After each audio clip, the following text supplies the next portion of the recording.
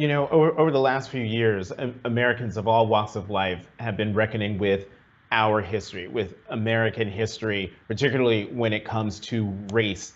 And I'm wondering, what do American textbooks in depictions in popular culture get wrong? And, and what should we what should we understand about the history of First Peoples? Man, where do I start with that one? Because it's still so present. I mean, we all of us struggle so hard to shift to shift that narrative of the stere- of stereotypes, and I don't want to name them. Everybody knows them, mm-hmm. but I always say, well, my grandmother Naomi Harjo played saxophone in Indian Territory.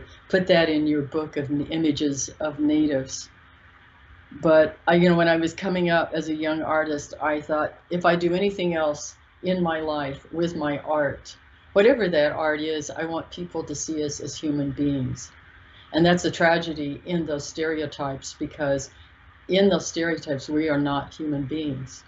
Yet in our, we're, in our real life, we're, you know, we're, we're the original peoples, the original nations of, of this country.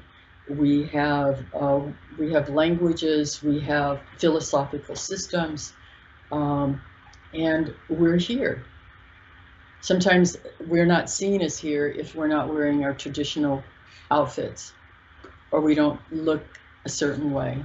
But we are everywhere in this country and we are part of you and we are um, we are achievers. We have stories that are just as complex as any other person's story.